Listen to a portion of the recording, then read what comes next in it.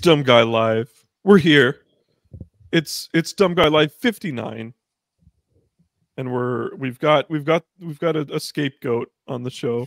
We've got the final Ross, Jamie Ross. And we've got a Jay Uso. we've got P. We've got Jay Uso. Um, a Kenny for your thoughts. Um, What That's- bloodline member are you, Murph? yeah. Yeah. Mm. Tag yourself. He's solo. Uh, no, I'm not solo. I'm not. I'm not. I, I, think Solo Sikoa legitimately has the worst finisher in all of wrestling. No, dude, the Um, Samoan Spike. Shit shit fucking sucks, bro. You get a you get a thumb. Shit fucking sucks. I'm Uh, so- uh, I'm I'm Jacob Fatu, because you know I go hard in them streets. and you um and you've potentially committed a violent crime in your past I, I Um, buy it. that all checks out. That all checks out. Yeah uh, how's it going everybody? Uh, i'm glad that you're here if you're watching. Uh who we got? Who we got here? We got anjan. Um oh yeah. So get this everybody. Hold on. I need everybody to first of all just like brace yourselves okay? Yeah. like murph like calm down okay? Just listen just listen. Anjan you know he's live he's live in tokyo right now okay? He's on japanese wall street or whatever he's being he's getting a report that the yen is down. All right. Now if you need to take a second to sort of i don't know just compose yourself after that then i understand. But through our own sourcing that we have um, you know through through our well connected promotions we have an we have an in with osaka pro you know we have an in with itabashi pro wrestling we have an in with a lot of other promotions with tradition i'm a big fujinami uh, uh, associate and we can corroborate the report Uh, do not do not uh forget Ryukyu Dragon Pro Wrestling too. Ryukyu Dragon Pro, Ryukyu Dragon Pro, Gurukun Mask is is a big fan of the show. Sherry Joe. But unfortunately, the yen is in fact down. Um, I know that's going to be that's going to be some really difficult, really difficult news for a lot of people to hear that the yen is down.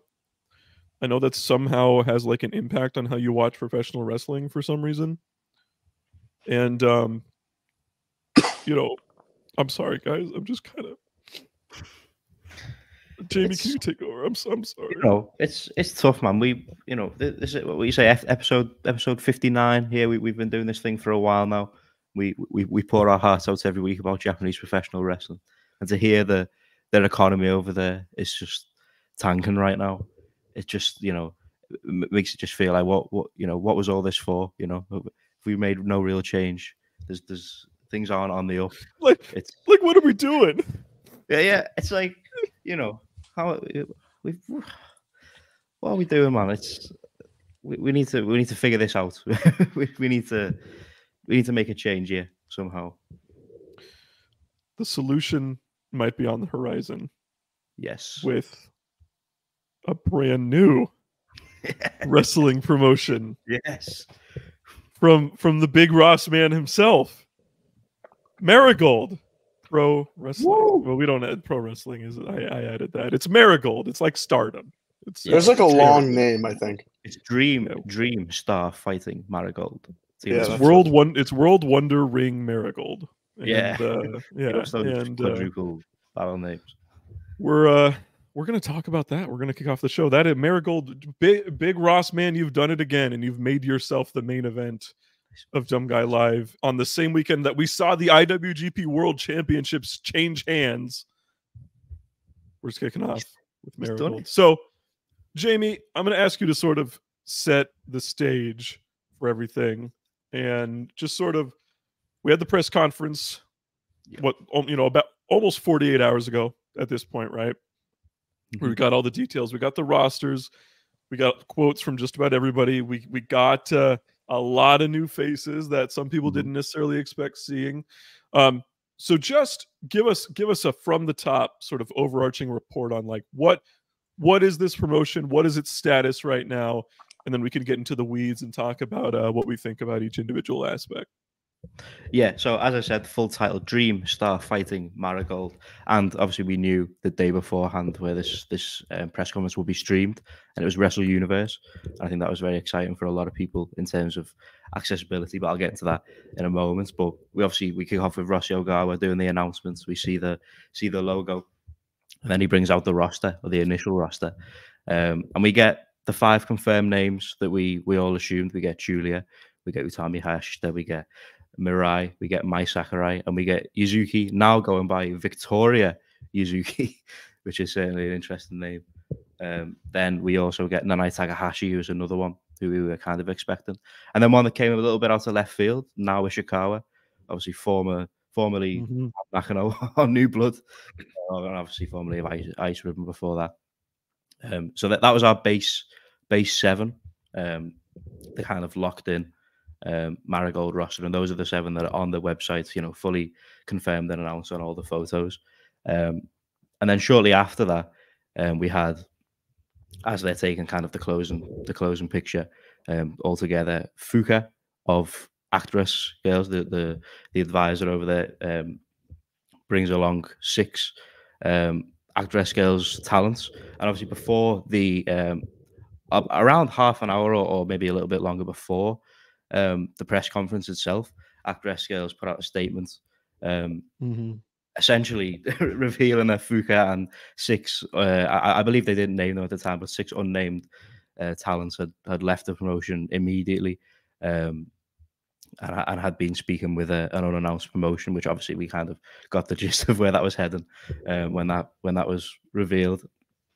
Um, but uh, it also seemed like it was very unexpected on, on their end and, and kind of like um, they, they, they felt a little bit betrayed by it. But the names were uh, off the top of my head, and I'm not uh, an Actwres Girls fan by any means. So um, we had mm-hmm. Natsumi Sumikawa, who is interestingly obviously a former um, Stardom uh, Goddess of Stardom champion, um, and, and more interestingly is the current actress um, girls singles mm. champion, or at least she was. I assume that's that's now been relinquished, but she only won that belt 22 days ago, which is very. Um, it's interesting. It kind of shows that they they didn't know what was coming. Um, we also had Miku Aono, the first singles champion over there. We had Koki, who um, again I've not seen a, a, ton of, but everything I see of her, people seem to be super excited by her joining. Um, we had Chiaki, um, another one who again I'm not too familiar with. We had Chika Goto and Misa Matsui, who seems to be a bit of a, a high speed sort of style wrestler. Um, but yeah, and then we obviously had so so that was kind of the, the Actwres girl side of things. We had the announcement of the first um, the first show on May twentieth, which will at Korakuen Hall, which will be titled Marigold Fields Forever, and that will see Julia and a mystery partner taking on Sareee and a mystery partner. Sareee was present at the press conference.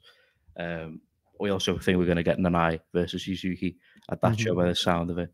Um, and from there, we just had uh, a few more show announcements for the for the next kind of month or so. Um, and then there was an appearance on No, but we'll get to that shortly after. But that's kind of, uh, unless I'm forgetting anything, everything off the top of my head that we know about this promotion so far. It'll also be streaming on Wrestle Universe as we expected, yeah.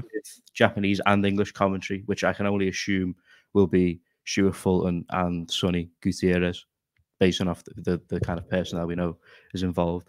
Um, but yeah, I'm I'm very excited about it. We'll talk more about uh, you know your guys' initial thoughts. I kind of know where May have sat on it, but if you want to you want to kick us off, the people are awaiting your opinions. Yeah, Murph, uh, Murph, Murph, just uh, what what you're not the biggest Joshi guy, generally speaking, and you have certain thoughts on Rossy Ogawa.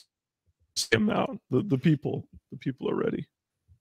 No, I I, I want to. So Jamie, you're a big fan, correct? Yes. You're, you're very in favor of this. Yes. I, I want to hear P's thoughts first, because I, I think he's like I feel like he's going to be the middle ground of wherever me and Jamie are. So I kind of want to hear peace thoughts first. We're just throwing the you. ball around. Some, someone, you know, take it away. But yeah, take it away, Who We got it. Uh, okay. All right. All right. All right. Let's break. Um, no. So first of all, just to take a step back six months, um, I'm not happy that this promotion exists because mm-hmm. I think Stardom had the greatest of women's talent that any promotion has ever had. Uh, and that includes you know, all of course, I think all Japan women did a lot more in the ring that like, you know, elevated their stuff beyond a lot of what Stardom was doing. But I think top to bottom, when you were able to have, you know, you know, up to 20 main event caliber wrestlers on a roster, um, you're one of the best rosters we've ever seen.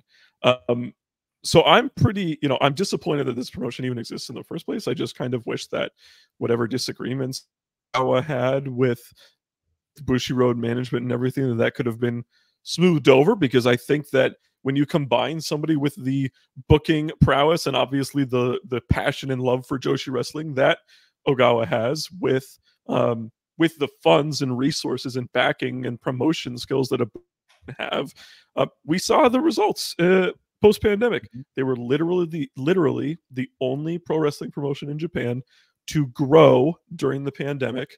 Um, and uh, I th- and I think the combination of those two things was the big reason why. Um, that that Utami Hayashishita and Maika, the same promotion, for example, right? Um, I'm disappointed that Julia is going to, you know, had like kind of a, a meek end to her stardom career and is now going to do like a weird pit stop type deal here in in Marigold and then go to WWE, right?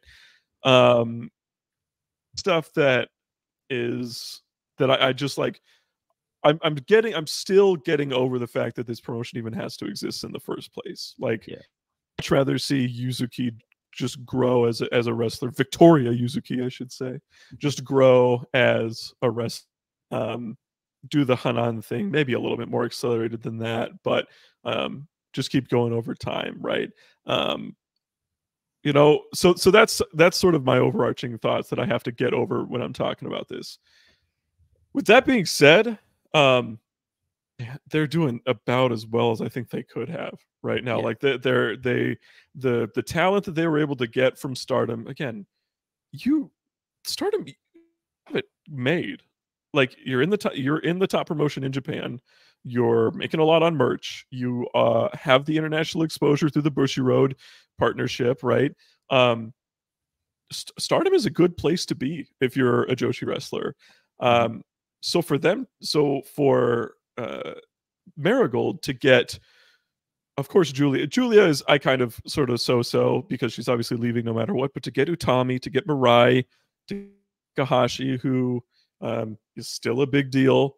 Um, to get Mai Sakurai, who was getting some of the loudest reactions in the company, to get Yuzuki, Victoria Yuzuki, who uh, aside from Hanan, is probably the hottest up and comer that Stardom has had in years and years, right?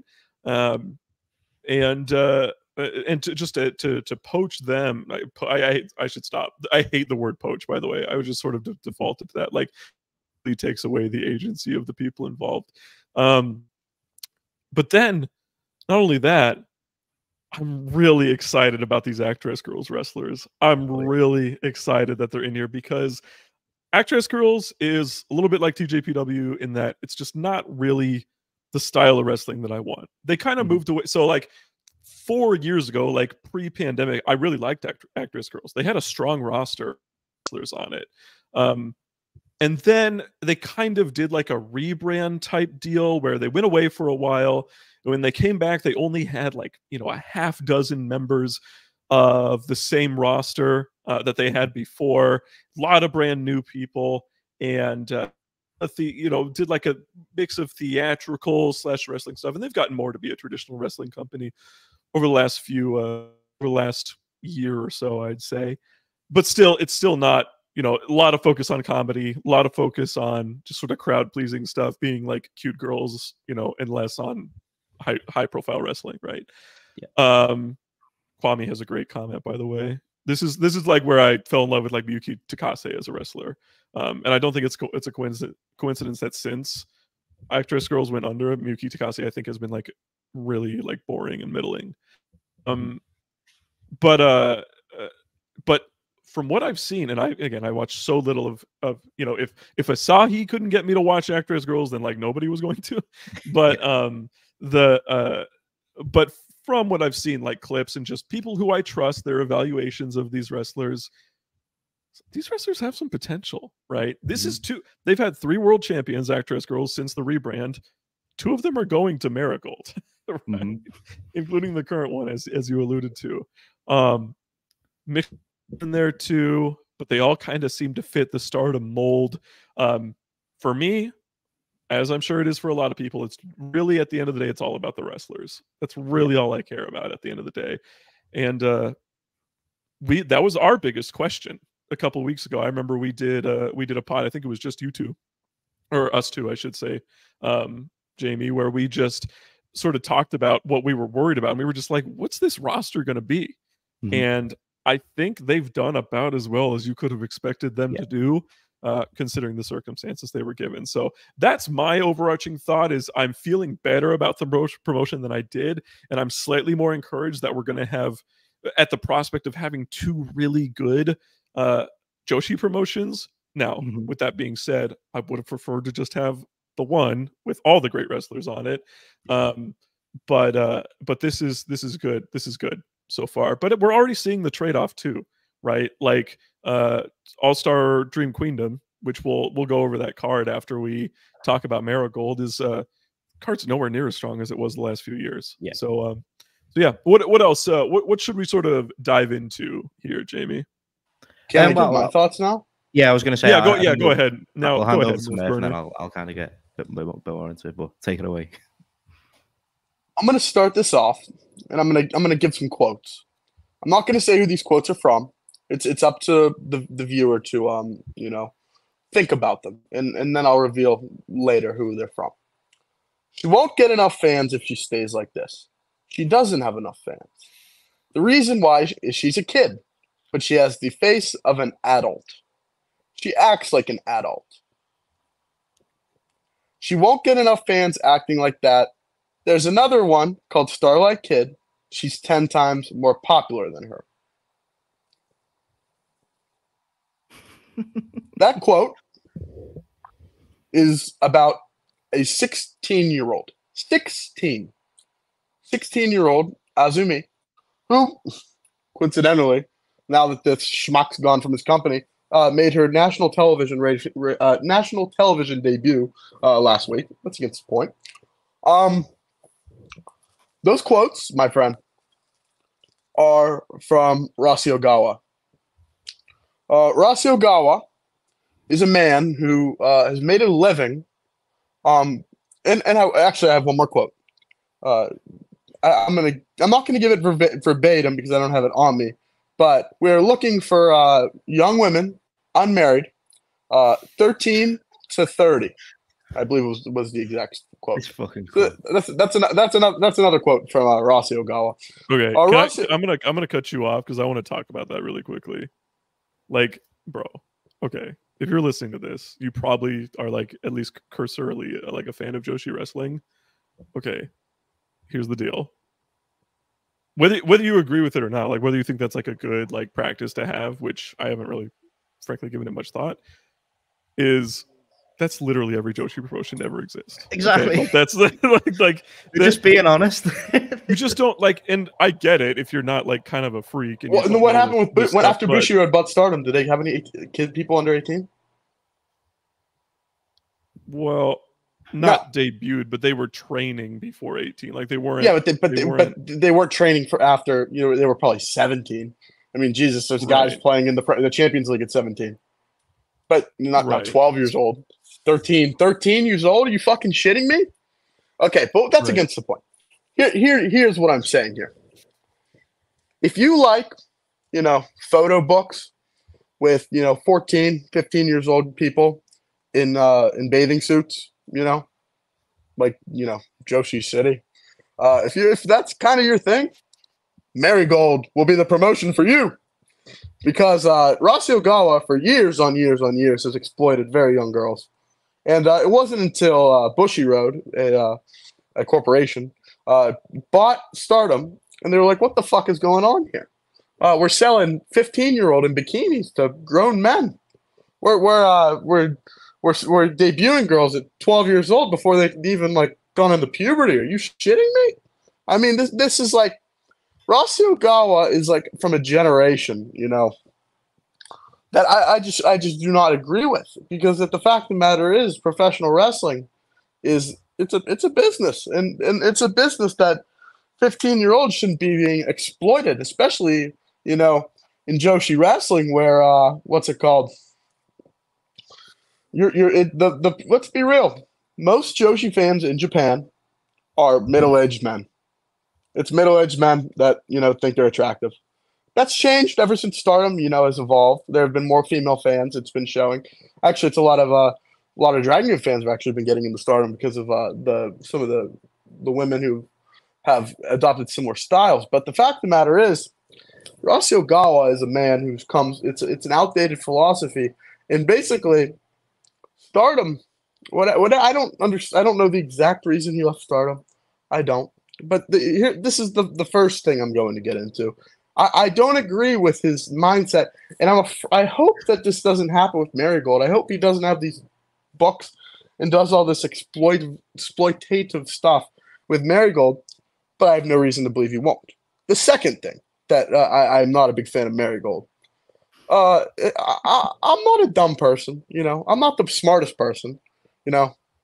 I've gotten like a C before, you know. I'm not the smartest guy, but the fact of the matter is, is if you don't think fucking WWE and Paul Levesque are involved in this, I got a fucking bridge in Brooklyn to sell you. Are you fucking shitting me? Uh, yeah, I'm gonna fly over Rossy and the girl who's literally working for Rossy after we signed a contract with her, and put him in a, a ringside at Takeover, put him in a box at fucking WrestleMania, and you're you're telling me that this promotion is operating, you know, just by itself. It's it's it's it has no affiliation. And what did Ro- oh, here's another quote. Rossy says, "I intend for us to be a WWE ranch." You fucking shitting me? I mean, this, what are you, Dave Schultz, fuck catcher? I mean, it's a ranch. I mean, it's a ranch just for you know, guy like this promotion is a feeder promotion for WWE. So don't get too attached to these people. You know, WWE should be coming for them. And hell, I remember in 2020 when WWE was probably going to do some shit with All Japan the first time. The second time was nothing. That shit didn't do anything. We were sky is falling for nothing over that shit. But WWE was actually, you know, NXT Japan was going to happen. COVID. You know, one of the great things about COVID, no NXT Japan. Hey, I'd be scared. The WWE wants their hands on everything, guys. And uh, what what what did uh what what did Rossy uh what did what did what did Rossy um who did he invite to one of his shows? Oh yeah, uh Iyo Sky and uh Kairi Sane, Kairi Sane. And um notice they didn't invite Asuka because Asuka's a very smart person and knows that Rossy's a fucking piece of shit. So they didn't invite Asuka because you know Asuka knows what she's talking about. Um, that's actually a true story. They do have beef. But the fact of the matter is, is I, I just have no interest in supporting an, a child exploitative, uh, you know, WWE backed promotion when you have Stardom, run by the great Taro Okada, Toro Okada, what a guy! I mean, he's he's he's led a renaissance for this promotion. I mean, geez, the All Star Grand Queendom. What a what a card that looks like. Fuck You know that that, that up. card looks that card looks amazing. I mean, God, Mike. Maika, Maika, you got Maika, you got you, Okay, there he- you got Maika in the main event facing against who? Who? The person that Rossy thought was a fat fuck, Momo Watanabe. What a great rise that Momo, after Rossy is gone from their company, is main eventing one of the biggest shows of the year for Stardom. So I'll I'll I'll, I'll leave with the, leave you with this. If you support, you know, the stuff I talked about earlier, if you support Saudi Arabia, you know, if you support, you know, a, a class action lawsuit with something pretty bad, uh, uh, Marigold, that's for you. If you support, you know, a great wrestling promotion with history, with a great leader in Taro Okada, with a great young core, and a great working relationship with a great company in the U.S. Support Stardom Ichiban. I like that Murph has more of a problem with uh with like and again to be clear it's all bad but like Murph has more of a problem with the bi- with the bikiniing photo books than uh than with Ric Flair literally admitting to be a like, yeah, like an abuser. Yeah, I was gonna say, uh, abuser. that, that was about to be my Yeah. I was about to say, I, I I've talked many times about how I, I, I- I disavow uh, everything having to do with there, but you know that's that's one bad thing versus a lot of bad things. But that's against the point. Listen, it's we know where, we know where Murph's coming from. It's Murph's coming from Tony Khan. that's that's where Murph's coming from. So I didn't expect anything anything else outside of that. The WWE thing is like like AEW are going to be involved with Stardom. Like I didn't ever particularly want that, you know. So Yeah. it's not. It's like I don't I don't care for either of them, but like Iyo and Kairi making appearances would be fine. Like, like I, that, that would be be cool, especially if Mayu ends up there. Like, we might get a Threedom reunion at some point, which you know would be cool. Um, the ranch thing is like, like, I've you know I've seen I've seen a few different translations of it, but even like even like let's say that's exactly what he said, right? I just don't buy that. That's like how it's gonna pan out, like at all. Like Rossy, when Rossy was like fully in charge of Stardom, like you look at the names who like went to um WWE, and it, it, wa- it's, it's not like they were just leaving, you know, constantly. They they had a, few big people come and go, but they always like bounce back from it, and it was never like a mass, you know, like like a pipeline or anything. It's just, that's not how it's gonna pan out at all. At least I don't think so. Um, there's no there's there's no direct sponsorship from their end off Cyberfight, um, as it stands. So you know, it, it's it's like if you know if you're very uh, you know strictly anti WWE and then more on the AEW side, I, I kind of understand why people are you know against it. Uh, but it is what it is. You know, there's going to be American involvement in both of these companies now. Um, I, I want to talk a little bit. I, I want to kind of come at it from the opposite angle, talk about how excited I am. Can't do yeah, go for it. a 180, a 180 on Murph. I'm, I'm And gonna you see that you see that's what I just for a that's sec. what I like because you know I know you're very excited for it. I know Parker's indifferent. I I, I like viewpoints. Viewpoints is good for the show. What we gotta. I'm gonna cut you off real quick because we got a couple of super chats. On. This one is like a complete non sequitur, but it's funny. We have two Canadian dollars from An- Andraves Gaming. What do you think of what do you guys think of Adam, Cop- Adam Copeland in AEW? What do you guys Love think? it. Yeah, I, I, have, I, I haven't seen a single match of his. Um, The so Cope don't. Open. the Cope Open. I Yeah, yeah, yeah. He's he's done some really great matches. Um, I like him. I like him. It's it's it's nice to see him doing something like different. It's different. like a fish in water. Will so the man who beat Chris Batten twice strikes back. Uh, what do you think the ceiling is for Marigold? Well, let's make this the last thing we talk about with the with the Okay. promotion. Like, where do you where do we think this goes from here? So we're gonna circle back to this one. The man who beat Chris Batten back twice strikes back. Uh, WP Fabrizio Romano. Breaking news: Marigold Mystery Partners said to be Sol Ruca and Lash Legend. Wow, here we go soon. Oh, Yeah. okay. So okay. so Ruca working Korakuen. I'm, I'm I wouldn't be mad at it. Hmm. I wouldn't be mad at it. I've never. I, you could show. You could give me a lineup of of women, and I could not pick out Sol Ruca for you. So, I could probably pick out Lash Legend. Murph should win a Pulitzer. This is five dollars super chat from Chi-Town Spurs. Murph should win a Pulitzer. I don't know if that's a thing for Uh, Rams. That's like a, Pul- a Pulitzer is actually pho- photography, and I'm I'm not much of a uh, a, a cameraman, but uh, you know, it's not. I thought it was. there is a Pulitzer Prize for Photog- yeah, photography. photography is part of it, but it's writing. It's it's like Pulitzer media. Prize for ranting. Uh, Yeah, it's it's not it's not a thing, but uh, it's not. Dollar ninety nine from Andrew. Sorry you had to sit through that, Jamie. Well, thankfully we're I- done. so Jamie gets to talk about his. I prepared his myself. I knew what was coming. You know. He was well I aware. Yeah. All right, go for it, Jamie Son. Yes. So you know, as as I assume, well, at the point at this point, I'm very excited as as we kind of talked about the roster. Um, the names we already knew. A lot. There was a lot of excitement there, especially with with Utami Hashita. Starting with her as kind of like you know what you assume to be like the kind of ace figure in this promotion is very exciting because she's one of the best in the world. Um, Yuzuki Victoria Yuzuki is the best Stardom rookie in a long, long time. So having there is a huge coup. But um, the actress ele- uh, element of it, like, like Park said earlier, is super exciting because these are talents who have been in an environment where the the, the platform they're on is not even entirely like wrestling in a, in a sense. It's a lot more performative than your typical wrestling promotion, and it's clear from the kind of well, the, obviously they've they've made the move, you know, um, um, you know, to, to, jump to Marigold and you know, kind of reading some of the the reasons and some of the statements and stuff like that. That you know, these these six want to kind of grow as wrestlers, and um, so seeing them in that environment where they're going to develop, um, and especially like even with with um, that being said, in terms of them not being in like a full kind of um, typical wrestling environment beforehand, the potential was already evident with, with a lot of these. Um, so mm-hmm. seeing how they're going to grow is going to be super exciting. Fuka's involvement as well, and it's something I've not even seen mentioned like a ton. Um, she's one of like the most prolific, prolific yeah, six, trainers. Six, uh, one of our most one of our most view, uh, loyal viewers, like really early on in the show. Mm-hmm. Um, in the yeah, here we go. Yeah. So yeah, continue. Yeah.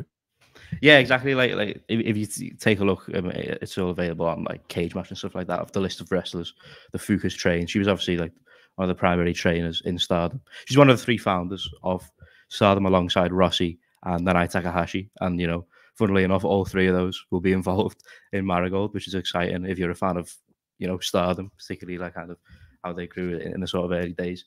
Um, but yeah, another thing that's just kind of like um, you know, this this kind of not even involving like the actual events of the press conference, but just in terms of a new promotion, being able to jump into something from day one is all always really exciting. You know, especially if you weren't um, haven't been with Stardom for too long, and I don't know um, a lot of my a lot of my friends who kind of jumped on in in kind of recent months. Um, you know, sometimes it feels like they they're, they're missing kind of bits here and there. So I feel I feel like you know a new promotion jumping in is going to be very exciting. Um, and also just the accessibility of it, right? It's Wrestle Universe. It's not a new streaming yeah. service that you have to jump into. It's probably the best streaming service for wrestling overall in terms of like, um, you know, ju- just in terms of like the, what is on offer there, but also like kind of production value of the majority of what what is available there. Um, you know, you're going to get English commentary too. So if that's something that uh, I know not everyone opts for the English commentary, but if that's something that makes th- these things more enjoyable, then that's going to be there, and that's something that wasn't um, you know, pretty much hasn't been a thing in, in Stardom outside of a couple um, pay per views. So everything kind of on paper so far, as as you said, Parker at the start, has been the best it could possibly be. Um, then you, you, kind of throw in what we know so far about the the first event, um, and having you know Julia and Sareee get in there, which is obviously something people were hoping for before Julia um, makes the move. Um, that's super exciting. It'll be weird to see Sareee's going to be working Stardom, um, mm. pretty, you know, pretty close before she works the the Marigold show. And we'll get into that um, in a moment. But the last kind of thing I want to get into is the um, the, the appearance they made at Noah. Um, it was a couple hours after um, the press conference. Rossy Ogawa um, and Utami, Julia, Mai Sakurai, and Mirai. Um, confronted, uh, off the top of my head, Takumi Iroha, Nagisa Nozaki, uh, the Great Sakuya, and Miyuki Takase, and challenged them to a um, eight woman tag at the Sumo Hall show. I believe it's May 3rd, um, mm-hmm. which is essentially the will, will, be the official kind of um, will, will, will definitively be the first kind of in ring outing for the Marigold Girls. Um, I would I would tend to expect that the four um, Noah girls. I know they're not signed Noah talents, but the you know they appear frequently across Noah. That they're going to have some kind of involvement across these shows too. Um, just just based on the kind of initial involvement there, but we'll see how that kind of develops. But that's that's pretty much everything that we kind of know about this thing so far. I'm very excited. Parky seem pretty optimistic so far. Um, Murph, obviously, Murph. you know, we know Murph's thoughts. I, I, I do want to. Th- I, I, do want to praise Rossy Ogawa real quick. Just real. I, do want to praise him. I have some away. praise for him. Thank you, Rossy Ogawa, because I'm going to be real with you. There's someone I hate more than Rossy Ogawa in the Joshi world. Oh, I know where this is going. yeah. Thank you, yeah. Rossy Ogawa, for making it so I never, ever, ever have to ever see one of the worst wrestlers to ever walk the earth, Nanae Takahashi, ever again. So thank you, Rossy. I, I really appreciate it. It's uh, it's it's it's very nice that you uh, probably thought of me while you were uh, picking out your roster and you took her with you. So thank you. I, I really I really appreciate it. So, and Rossy, thank you. You know. Yeah. And, and we Uh, know we now have Aja Kong back in Stardom. So Aja Kong in Stardom's pretty cool. Uh, one of one of Russell Pierce Kwame told me that uh, Rossy was not a big fan of Aja Kong and uh, was maybe even a little, uh, you know, bad to her. So you know, I'm I'm happy that uh, I'm happy that happy that everything's working out for everyone. So thank you, Rossy. I'm really excited, like you said, Jamie, about the production. I'm glad that they're on Wrestle Universe. Um, I've literally never had a problem with Wrestle Universe production. I think it's really high values. They just keep adding more to it. It seems to be a perfect match. Um, and I'm glad, you know, my I was worried that they weren't going to add it because it would maybe, in, you know, impinge on like TJPW, for example. But um, obviously, that wasn't uh, didn't appear to be a big concern because uh, every Marigold show will be on Wrestle Universe and much of them live. Um, couple things. Um, Sonny Gutierrez being part of uh, of Marigold ostensibly is very questionable to me. I think this guy sucks. Uh, I just think he's like, It's better than know, the guy Stardom has. well, that's what I was going to allude to that. But like, I think they're like they're both awful. Like, like I think Sonny like actively detracts from good promotion things things like that. Like, um, I don't know, just like posting on the the F4W board openly, um, and uh, just being like, you know, just like clearly trying to get off like certain agendas and things like that. Like, it doesn't feel like. I don't know. I should never know who this guy is. Like I don't want to know who this person is, right? Mhm. and I do, and it's uh, it feels sort of self-inflicted. Um, uh, on the flip side, of course, like you said, the guy who runs the social media for Stardom now, Tom Fain, is a fucking transphobe. So um, he can uh, he can he can get bent, as they say. Um, so I mean, it's you know kind of a wash either way. I guess you just have to be like an insane freak to be that t- to be that type of person to like go to Japan or whatever and do that. Um, Yeah. All right, Murph's gone. Uh, but uh, but yeah, so that's a little that's a little bit concerning.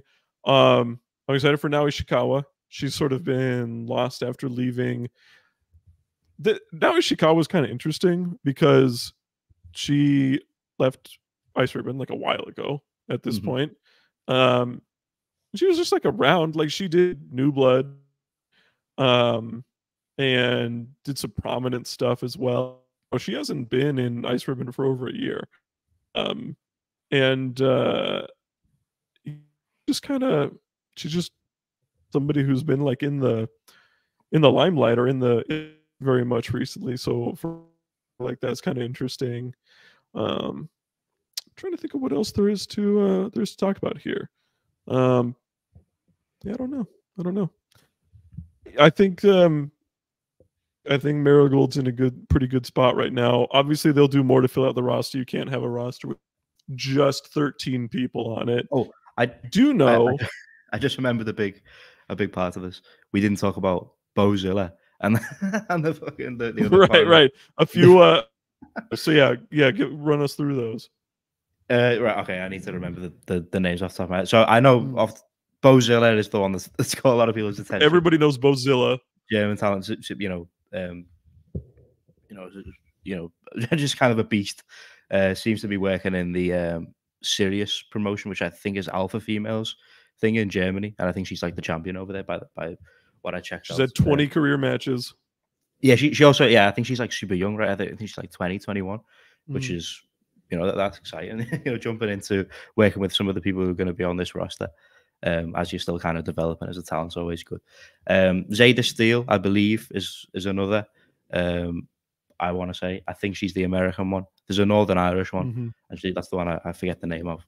Um, Myla Grace. Myla Grace, there you go. Myla Grace, I believe, made appearances on NXT UK. I remember someone saying, um, Mhm. which you know sounds about right to me.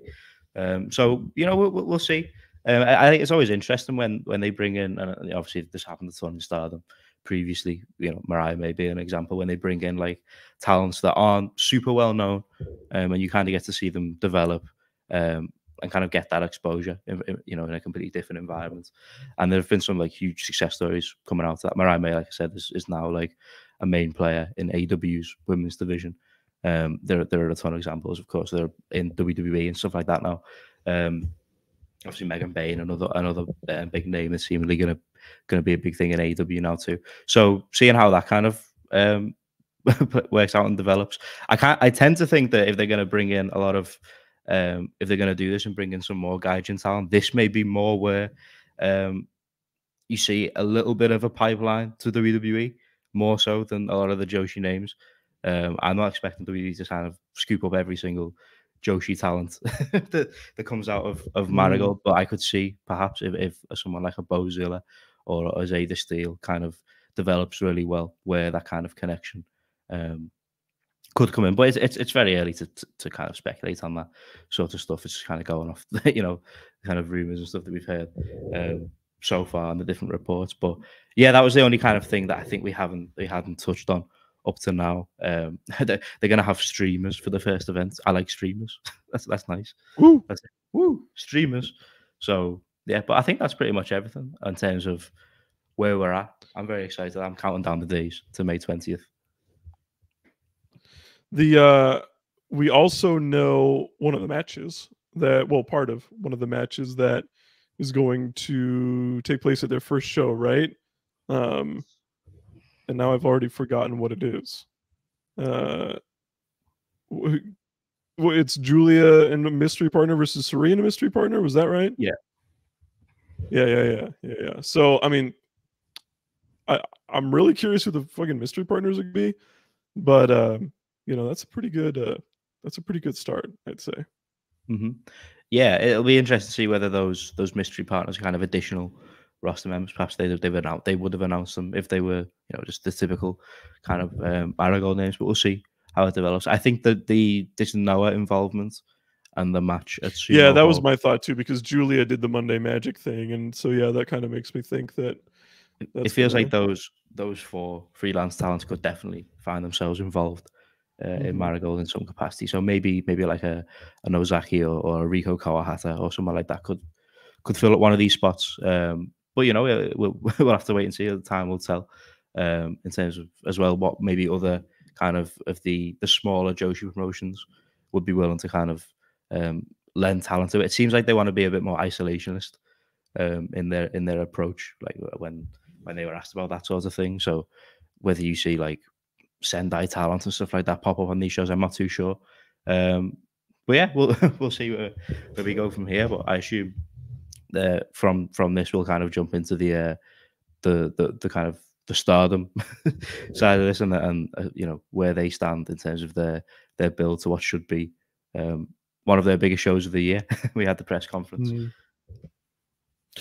All right, anything else we need to talk about with uh, with Marigold? Uh, uh, anything here that we're forgetting? I think I think we've been pretty pretty pretty comprehensive here. You know, we mm-hmm. spent uh, we spent the the whole show on it pretty much. So yeah. Yeah, yeah. I think we're I think we're good to go. Good to go. We've had a balanced coverage, so but a very yeah, very, yeah, very balanced sure. coverage. You know. Oh yeah, there's what were we going to circle back? Oh yeah, the ceiling. What do we think about the oh, future? Yes. Like where does this get to? Where does this get to uh, in the future? Um, I I would say, and obviously I'm one of the most optimistic people you'll find about this thing. Mm-hmm. But I think when you look at who's involved, and particularly Rossy Nanae and, and Fuka, it's hard to not point out that this is where Stardom started, and kind of, mm-hmm. and they already have a better talent base than pretty much than when when Stardom started. They already have like super developed um, names in some parts, and then obviously the kind of rookies they've brought in are already showing a, a lot of promise. It's hard not to say that they could 100% grow into a similar level um, in terms of their size and with their accessibility on Wrestle Universe. I think that that boosts them a ton. I think if they'd have launched and they'd have been their own um, on their own service, I think it would have been way more difficult to grow yeah, I'm really glad that I'm so glad that it's on Wrestle Universe. It's it was just, it was the big thing. Perfect, yeah. It was the best case scenario, right? Um, mm-hmm. So, so I, I find it hard to say that, that, that they're going to be anything other than um, essentially create a sort of big three.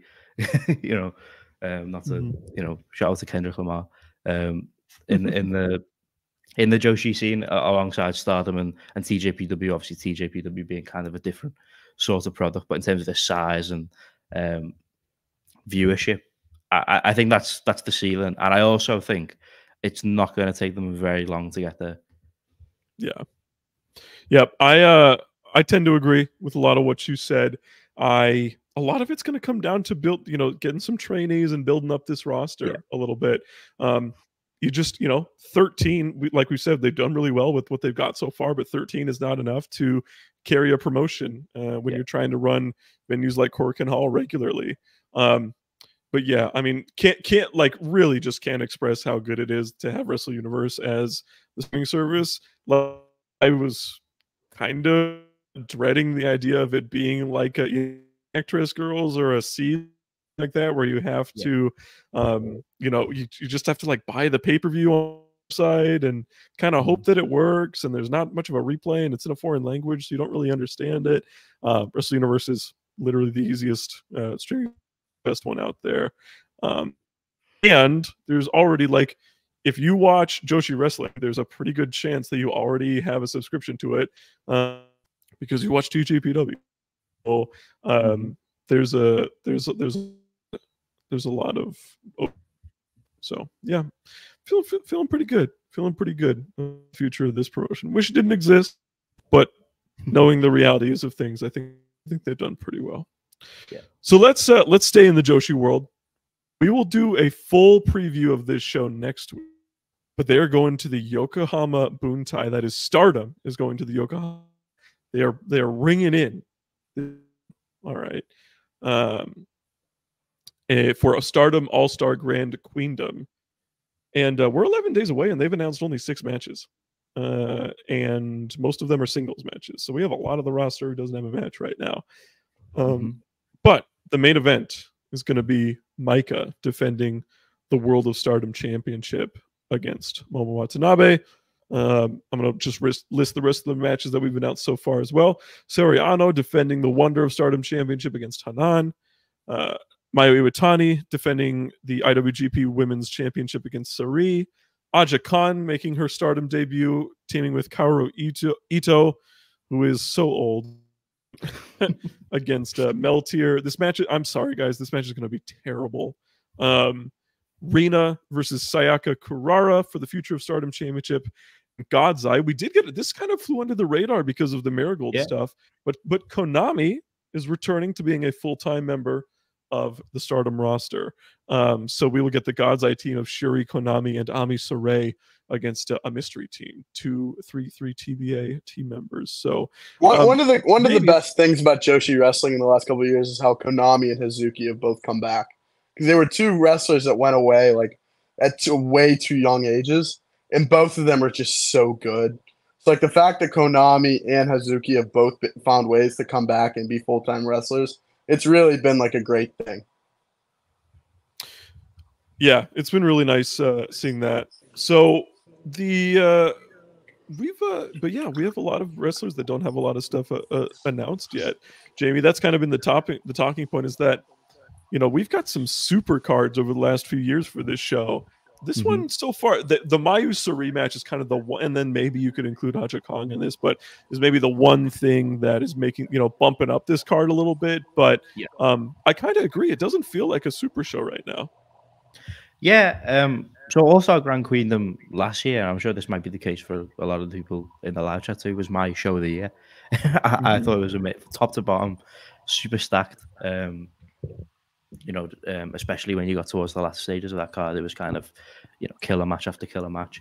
Um, and, and this one, I think, will have one of the. I expect to be one of the matches of the year in Mayu versus Sareee. It's it's the, you know, in my opinion, the best women's wrestler of all time against probably the most on form women's wrestler in the world at the moment in in Sareee. So I think that match is like kind of can't miss, um, and Mhm. will will absolutely deliver. So I will be watching. Obviously, I'll be watching the show anyway. But if you're someone who kind of only tunes in here and there, that is something that I think a lot of people are going to tune in for, regardless. Um, but it's definitely nowhere near as stacked. The, the world title match, um, as a match, I, I, I really like both talents involved, and I also I'm kind of excited by um, the increase in speculation and possibility that Momo might win, which Mhm. I love Momo Watanabe. She's one of my favorite women's wrestlers of all time, and I've always wanted to see, you know, kind of get a big push and a, and a red belt run. Um, however, this match is going to be like some sort of three stages of hell. three thing. stages of hell. So it's uh, by the sound of it, I believe I don't have it up, but I think it'll be a normal match, a hardcore match, and then last woman standing, which to me screams House of Torture Oedo Tai yeah, vibes. it's gonna. You know, I mean, I gotta like. I don't know, man. A lot of people are down on that stipulation. I'm like, I'm kind of like, like hyped about it. It I could be don't know. really good. It I be- know. it I'm kind of just like I'm loving like as long as it's not just like dead. You know what I mean? Like because there's Yeah. so much like there's been so many. If there's one criticism of Stardom, which has been a really stellar promotion recently, is that the the crowds are just not as raucous Yeah. as like any other promotion. Um, so but Yokohama Buntai, like the previous one before it was demolished and rebuilt, uh, was like the best venue in wrestling outside of Korakuen. I loved that venue. All Japan would run it all the time. Big Japan would run it all the time, and the Samurai TV production just made it seem like a huge deal. It was always Ice Ribbon's biggest show too. Like they would often run there too. Um, yeah, it was it was a great venue um, and a big one too, spacious one, uh, in a terrible like ventilation. So the wrestlers would like overheat. They'd like be sweating profusely, and it made it seem like a big like dramatic fight, especially in the main event. Um, I love I love that they're that we have this venue back, and I hope it keeps some of the unique character. It, Yokohama Bun, it was called, is one of those venues where you can just immediately know that you're watching it from that. Yeah. Um, from from that, really excited about that. But along those lines, it's got it has to live up to that because if not, like, could suck. Like this main event could be really bad yeah. just bullshit and just like and you know if if like Waka is like the third most important person in the in a main event match or something becomes Mm-hmm. very like like low uh, low budget almost um but both these wrestlers are great.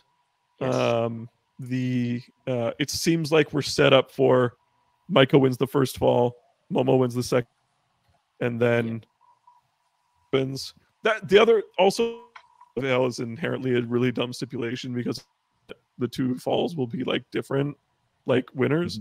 Um because it you know it takes the drama away out of the hardcore aspect so maybe they'll be intelligent about it and they'll get through it.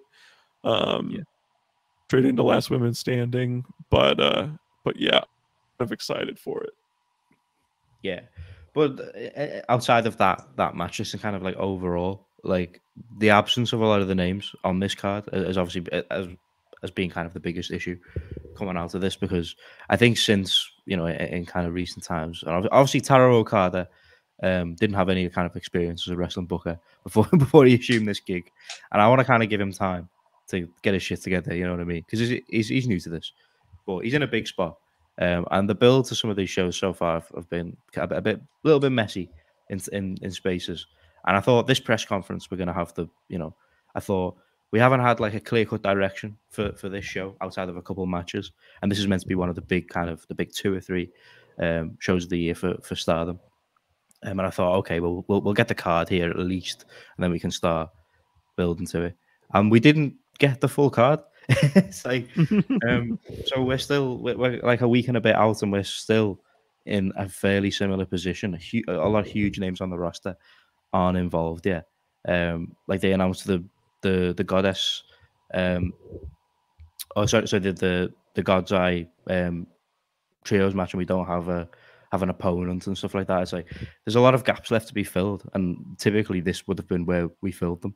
Um, so it's kind of weird to kind of leave us at that point. The um the Kong match, like you said, I'm not I'm not particularly like fired up for it. It'd be cool to see her there because it's a, you know it's obviously um, one of the biggest names in, in women's wrestling history um, in a new environment which she's not been in in because of like right you know political reasons and stuff like that. Um, but you know, we saw with the the Legend show that Stardom did last year, like it doesn't exactly create like must see wrestling. Um, but outside of some cool, you know, unique interaction. So um, it's definitely not. It doesn't seem like it's going to be. Uh, it definitely wasn't the strongest press conference in terms of mapping out what should be a huge show for Stardom. Um, but as we say, there's there's still some potential very very high points. Um, but we'll have to see. I, and yeah, as much as I'm like, you know, evidently from if you follow like just this podcast and obviously my timeline in, in the last day or two, I'm obviously very high on the Marigold thing. But Stardom is my favorite promotion of all time. Ideally, both are awesome, and like, um, Yeah. you know, I, I'm not gonna I'm not gonna stop watching Stardom. I'd love for it to be for it to be great because more wrestling companies that are great means more more great wrestling. So um, I wanted to succeed and, and keep succeeding. And obviously they have the talent to keep succeeding, but it's just about kind of getting back onto kind of the right direction. Um, and I, I I think and hope they can definitely do that, but needs a needs a bit of work. We'll obviously give a full detailed preview of the show next week, but just sort of uh, some thoughts there as we got uh, the big matches at least announced for, for the show. Guys, 56 minutes into the show, I don't know if you guys remember, we got a new IWGP World Heavyweight Championship la- uh, champion last Friday. Um, kind of a big deal in wrestling. Jamie, the thing we really wanted to happen happened. Uh, Jon Moxley, the Death Rider, is the IWGP World Heavyweight Champion. He beat Tetsuya Naito at, at Windy City Riot. Very good, Murph. Um, and uh, yeah, he did the thing. He hit the Death Rider many times, many times, in fact Yeah. and uh, and won the match. Pinned Naito clean in the center of the ring. We got a cool post match angle um, with uh, with uh, with Shota and with Narita, and, and, you know we set up some challengers for him already, and we're, we're think, things are happening in New Japan Cinema. Wrestling. Cinema. cinema yes uh yeah cinema um but uh but yeah so let's put that on pause let's run through this show really quickly i'm not going to talk about the pre-show main card ren narita beats minoru suzuki in like seven minutes this was really weird it was short um suzuki like did his entrance and then he like lost the match um Yeah. and it was odd uh this, this Suzuki match in New Japan feels really weird right now. yeah. if uh if if if they had actually like tried and done an a, like a real ass match like it could have been great but it wasn't Yeah, it's a, it was a win for Ren Narita to give him something before the Mhm. closing angle. Right. Right. Yep i think I, I think once he as he won that match i was like yeah he's probably a, an upcoming challenger for whoever wins this title. Um we had a really nice match next.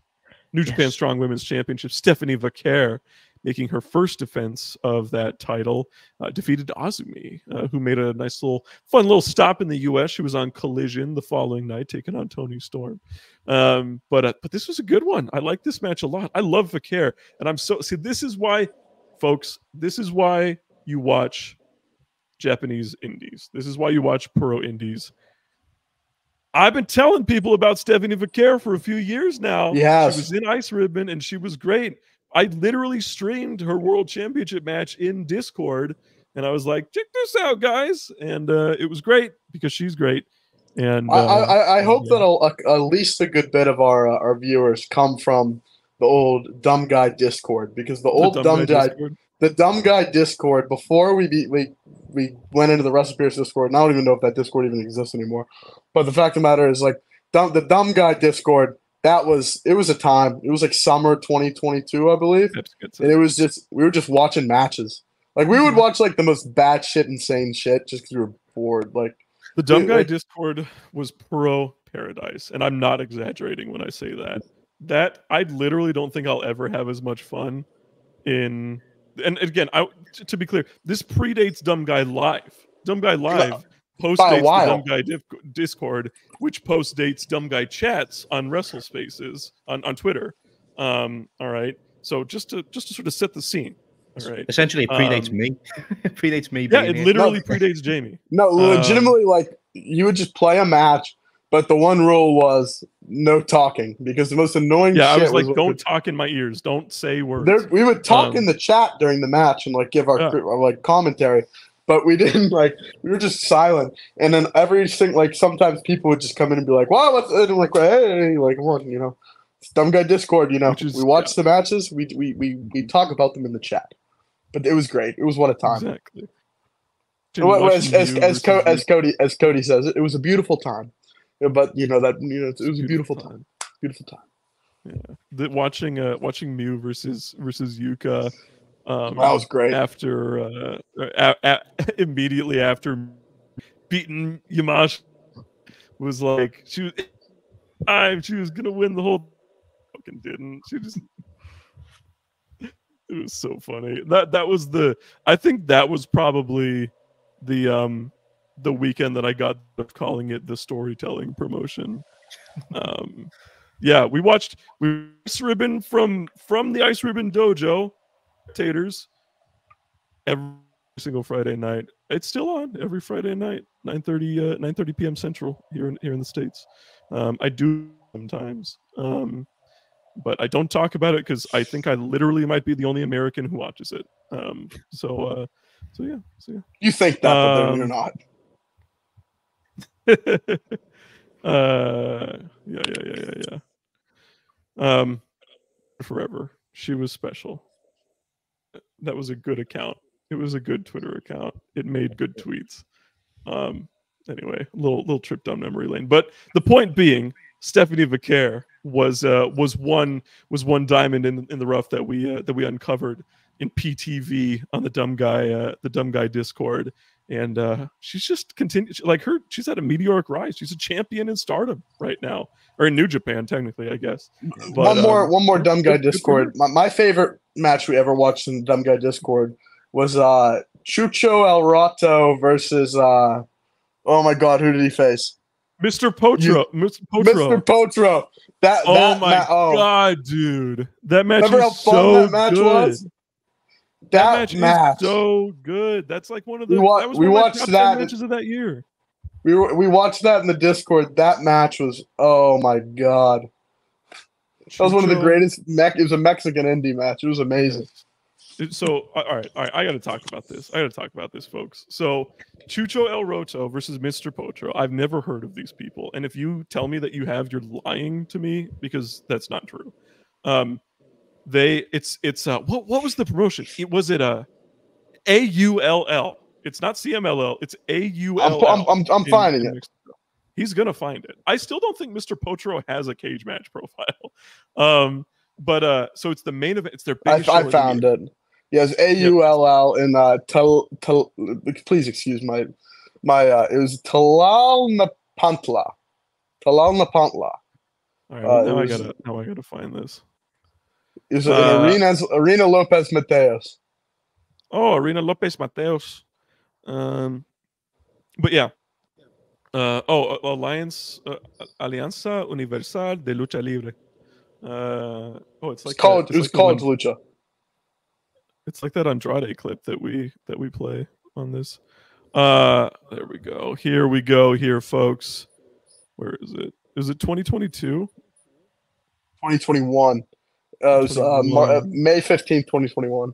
May 15th, 2021. Yes, aniversario de Arena López en Tlalnepantla, Estado de México. México.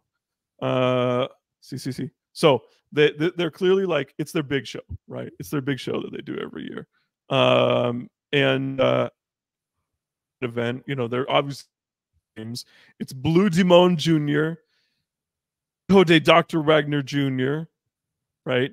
Uh, yeah, world heavyweight champion in pro wrestling, Penta, El Cero, El, and uh, and of course this fucker's in it, Diamante T Azul, who just who's who's such a bad fucking wrestler, but he just he's one like a he's like Cibernetico, finds his way into shit. You know what I mean? He was right. Um, do a four way. Somehow the four way ends in DQ in the semi main event, and then the main event. Oh, good. Mr. Potro does have a cage match page. He has 61 career matches. Um, event. It was mass mascara mascara. All right, Mr. Potro versus Chucho El Roto.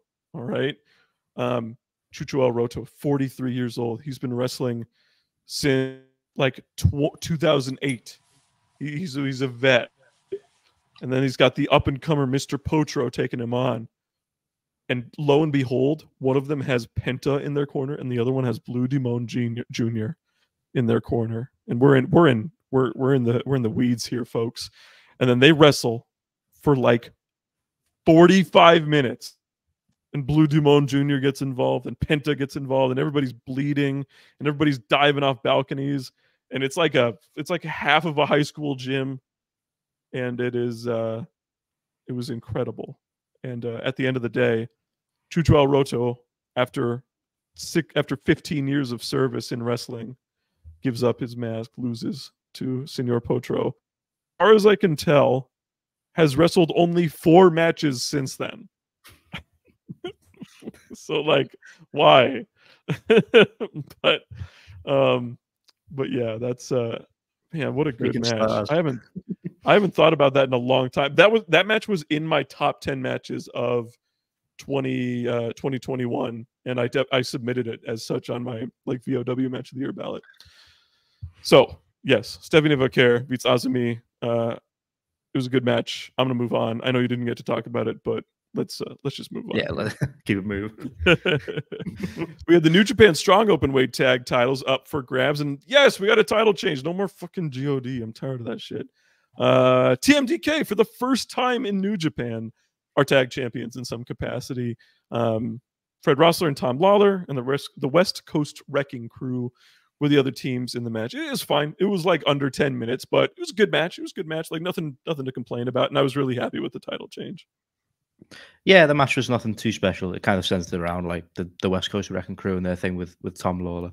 Obviously, they they, they turned on him fully after the match, but um, TMDK were the best tag team in this, so I'm happy that they emerged with the belts and they kind of. Um, you know they, they they deserve a little something because the, the New Japan Tag Division is not great, so I'm happy to see them with at least one of the one of the two sets of belts.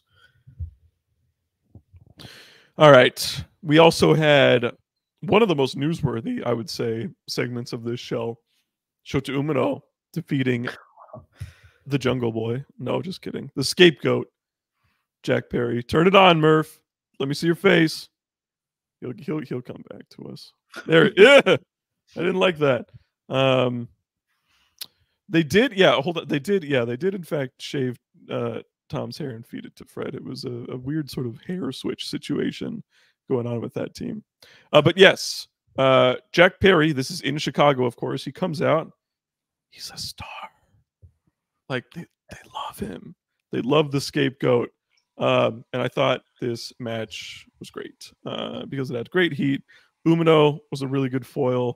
Um, I'm really ready for Umino to stop fucking worrying about heels. Like I'm ready for him to just be like a wrestler. He, he seems so tortured right now. but uh but even so, I thought this match was really good, really hot. Um, crowd elevated it a ton, and uh, Umino got the win, setting up him as another potential future challenger to Jon Moxley. That was awesome. What a match that was. I mean, it, it wasn't even like really the match. It's just that match had so much heat like to it. Just like the entrance was so crazy. I mean, the the the reaction to to Perry and Perry coming out with the the Chicago flag and the Cry Me the River thing.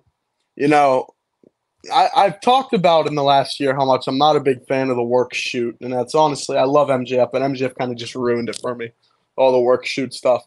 But um, Perry just, I mean, what does Perry have to lose by doing this? Like, what is he like? Like, this is great.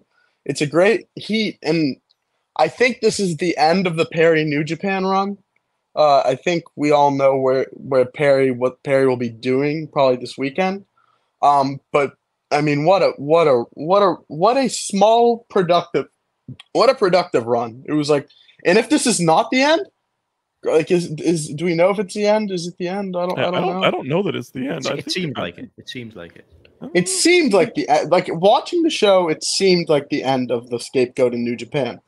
I, I selfishly, I wish he stayed in New Japan a little bit longer. I understand that he is if he's going back to his parent promotion and they like him again, they don't fucking hate his guts and they're using him for this storyline. Then it's understandable. But I, I would have liked to see Perry in New Japan just a little more. But what's it called? This was people forget because of all the shit that happened over the last year. But Jack Perry is a tremendous professional wrestler. I mean, if you go back to his tag title run, if you go back to his matches with Kenny Omega, with Christian Cage, with Luchasaurus in the in the steel cage, with uh, the Four Pillars match. Jack Perry's an amazing bell to bell wrestler, and I wish he stuck around to do a G1. Maybe he still will. I don't know. But if this is the end of Jack Perry in New Japan, then it was a very productive three month run. Yeah, I, I love this match too. It was um when they when they showed the footage on on AEW, I was kind of I wasn't I wasn't too sure about it, and I, and I don't really have a dog in the fight. I, I like all sides involved, um, but coming out of it and, and then coming into this, um, and you know if you assume that he's going to end up with the with the EVPs, I think it's I think it's worked for everyone that it was supposed to work for. Um, in that regard, in terms of in terms of Jack Perry, because he came out feeling like a star, and obviously the atmosphere was super special. Um, but I, I want to praise both of them in terms of they, they managed to obviously obviously the crowd was was electric for it, but they managed to translate that into the match too. Like like like they they were able to work the match in a way where they they utilized it a ton, um, and it wasn't just kind of the crowd hot crowd for a for a, a, kind of average match. They, they they kind of built it in. Um, I made it something really special. So uh, shout out to both of them. Obviously, a big win for Shota, who's going to get uh, big things moving forward. And obviously, Jack heading back to AW, assume. But very, very successful out for everyone involved. We had another match here uh, that was pretty high profile and a, and a, I would say a slightly surprising result, or maybe not, you know, not not a foregone conclusion on who was going to win. We had Mustafa Ali beating Hiromu Takahashi, the ace of New Japan's junior division. Um, I thought this was I. I thought the, the once they actually started wrestling, it was good. They did some like Daryl comedy shit, which is just like not for me at all. Like it felt very low rent indie level stuff. Leave uh, it in 2018. Well, even just like or just never do it ever because it's stupid. like I don't know. Um, but uh, yeah. So you know, I was yeah, whatever. But uh, yeah, I thought this was all right. I thought this, thought was good. Uh, but Mustafa Ali looks like he's he's sticking around. They don't just give they don't just let people beat Hiromu for no reason. Um, so he's probably he's probably going to be somebody who shows up on these America shows a decent amount. I, I really thought Mustafa was going to leave WWE and like turn like I he always like was like this guy who had all this ring talent and he was just waiting to show it and he just hasn't shown me it yet. Like I just this like in his, what I've seen from his indie run and what I've seen from what he did in this match, I'm just not impressed. I don't know if it's the gimmick. I don't know if he's just trying to work a style, but he's just not where I expected him to be. Is what I'd say. Yeah, I I kind of touched on it last week when we were um, previewing this card. Um, I, I, I was pretty disappointed with this match because I thought that this should have been one that um, re- really got got kind of Ali's post WWE run going. But I, I kind of think that the the idea of Ali uh, outgrew Ali in terms of he, he was a guy that for so long, you know, WWE fans and people outside WWE were kind of like, this guy needs to to go out there and get some more opportunities, and and I think that that became such a big thing and so overblown that the assumption was that he was going to go on like some crazy tear, um, and I just never saw him as that guy. Um, even on 205 Live, I didn't think he was like the the guy on the show at any point. Um, so you know, I, I, haven't been like incredibly surprised, but I thought here would be the opportunity against Hiromu to kind of you know get going on, on that path. Um, I don't want to say Hiromu didn't exactly show up to play ball either, so it's not like a totally one sided like um, thing. Um, and they had nice moments, as, as you said, when they, when they when they kind of got going. Um, but I, I, I left this feeling a little bit let down and no more excited um, for Ali's kind of post WWE run than I did coming in, which is unfortunate. We had a uh, a Riot Rules Q match. Um, get this: the mystery part for, for Gabe Kidd were were the bullet. No, I know, I know, I know. Everybody, just calm down. Uh, get this one of them is Kingston was homicide. Um, I know that's gonna that's gonna blow your mind. We did have some Jeff Cobb and T little a little coda on the Bullet Club versus Empire feud from earlier this year. Uh, was kind of nothing. It was uh, brawling, and the electric stuff is between Gabe Kidd and Eddie King. But like anytime it was somebody else, it just didn't match that match that energy. Um, and uh, you know, someone like like Homicide, I can take or leave in 2024. Dave Finlay sucks. He's the shitter Yeah. of the year. Um, so uh, so I don't know. I don't know. Is I'm just I'm ready for them to actually just do the match and then be done. Yeah, the, the, this match just made me think like they could have just done the match here, you know, as like a co-main event. That would have been good. They they have been- announced the match right for Resurgence. Yes. Yeah, yeah, it's gonna happen. No, it's like a no ropes death match or something like that, right? Right. No ropes. Yeah. So are they, if it's no ropes, are they going to work it like a blood sport match? Or are they going to work it like a like a blood brawl? Like a uh, like how are they going to work it? That's my question. It's gonna be no DQ. It's gonna be like it's gonna be no DQ. It's gonna be like a. Because that's like the th- a- when I think of when I think of no ropes, I think of like blood sport. But if it's no DQ, then that'll be interesting. Uh, it'll be no DQ. It'll be like what they would like. Uh, who was it? Yamato and who else? Kai in Dragon Gate a few years ago. yes, was- yes, Kai and Yamato. Yes, Yeah, it'll be like that. But uh, but yeah. So yeah, that, not that, much. that- that's actually a great. That's a that's a great callback. I know my shit. What can I say? Um, I thought the next match was great. I really liked this match, and I, I didn't see a lot of people talking about it. Weirdly enough, but uh, I thought Zack Sabre Jr. versus Matt Riddle was a, was like the second best match on the show for me. Um, I thought Shota versus Jack was actually ended up being my favorite match on the show.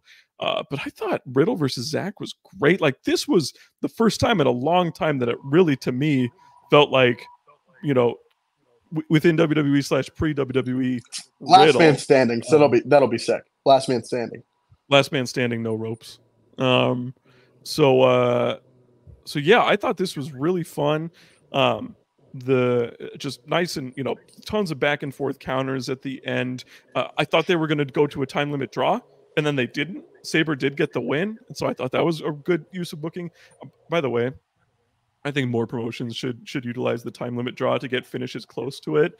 Like, uh, especially that's why that's like the genius in having a title like this that has a 15 minute time limit. Um, so I thought that was really good. But I thought Riddle looked great. Now, of course, Riddle he had to be like an idiot and like pop up and then just leave after the match. But it kind of made sense because he wasn't like pinned with like the Zack driver or something. It was just a roll up. Um, but uh, feels like Riddle's done in New Japan, Yeah. uh, at least for for the time being. Um, and uh, Sabre is back to being the television champion. My question is, why did Sabre lose in the first place? If we're right back here four months later, but you know, this is a good, Matt good Riddle. match. It's okay. Yeah, my my my assumption is that Riddle uh, has left. I mean, you know what type of character Riddle is. I assume maybe his time in New Japan has come to, to come to an end quicker than maybe it was anticipated, and they've they've just hot shotted it back to Zach. Because I, I assume when he dropped it, he was going to get a bit more of a push than he has done. So maybe Zach doesn't have it for too long. Um, but yeah, I Do also you think Matt? really- Do you think Riddle's going back? Back? No, I don't think. But back to WWE. I I don't don't think think- that's I ever don't- happened. I mean, it, crazier things have happened. It's I'm, it's just a question. I mean, they they've brought back guys on that like weird level. It's just a question. I don't know. I I don't. I See, don't, I okay, don't I think- have, see, like, um, Pips is sending this that says that he the belt in the Indies, but wasn't it like a, a fucking Fujita? like, like I don't understand this. Wasn't the ML, people are mad about the MLW the the MLW stuff, um, but it was against Kosei Fujita. like, Yeah, they- I they showed it- imagine that that was They showed it in the video too. package. It was like Zach had nominated TMDK guys to go and fight for the yeah. belt. I, Yeah, I don't buy into it. He only, yeah, and it, yeah, and it, he it was T- bad dude Tito as well. Like Yeah. that was, I don't know. That that that makes no sense to me. That that's a that, that like he could have heat for that. What do you mean he had others? Not nothing listed on cage match. I don't think. Maybe they said like in the no, this is the but- only time. Yeah, they could have said something in the arena, but there's not. He he never defended this title outside of. He, he had a he had a 15 minute time limit draw with Jake Omen and SCX. Maybe that was a match. Yeah, yeah, you know, you know, Jake Jake o- Jake Omen can't lose. He's got uh, for SCX Expo Four Parade of Champions in Indianapolis, Indiana. Yeah. Oh may- wait, maybe uh, don't don't don't click on it. What was the guess? This look at hear this main event for this match of this show. Uh-huh. I, I'll give you I'll give you the, the the promotions. It's a it's a New Japan Impact wrestler versus a Dragon Gate wrestler. New Japan Impact. So like He's a Uh, champion in New Japan, but he also works for Impact. Kevin Knight, No. Yeah, Kushida. higher. think higher, higher, higher. Oh, I thought they were champions for some reason. By the oh way. Nick oh sorry Nick sense. Nemeth. Nick Nemeth. Nick Nemeth versus a Dragon Gate wrestler. Nick Nemeth versus Casey. Nick Nemeth versus Ultimo Dragon. Oh yeah, okay, cool. That was that was the main Did- event did of that Nemeth show. get the win. Nemeth pinned him. Twelve fifty Nemeth two. pinned Ultimo for the SCX title. Oh man, In twelve fifty two. you know what? This one might have been. This actually might have been the match because uh every other, like just about every other match on this show is for a title. Um, I don't know. Weird. EC3 versus Carson Drake, bro. The NWA World Heavyweight Title was defended fourth from the top. The real world championship. I love wrestling. Uh, apparently, it was the Jake. O- it was the Jake Omen match. Do you know uh do you know Crazy Steve uh is the TNA digital media champion? Is he? Isn't he blind? Yeah. Did you know that that that titles had uh you know that titles had eight champions already? The Why did they give it media to Kenny King? I can't imagine a less digital media champion King. than than Ken King. social media superstar? Kenny K- King. Kenny. Well, they they literally. Um, I It always make- felt it bad for Kenny. sense that Joe Hen I yeah, mean, Joe makes Andrews like he's all over my Henry TikTok. for like for like yeah. I Hmm. I it's kind of over with me. I kind of I'm kind of I'm kind of vibing with Joe Hendry on TikTok. right now. But what's it called? Um, Kenny Kenny King. I uh, always felt bad for because when they did the the hurt business, he was like trying so hard, like on Twitter, to like get WWE to like add him to the hurt business, and I felt bad. Yeah, he- he did was like, 'cause what about me, guys? Oh, 'cause it he literally, was- bro, he was- literally was because they literally just Beatdown did the Clan. beatdown clan without him. Yeah. yeah. The beatdown clan. remember, remember this? Uh, all right, let's uh let's finish here, folks. Uh, we had second from the top another good match here. Nick Nemeth defeating the legend Tomohiro Ishii. Uh, I thought this was another really solid match. Classic Ishii stuff. Crazy, like you know, I didn't think it was the match of the night or anything, but uh, I really enjoyed it.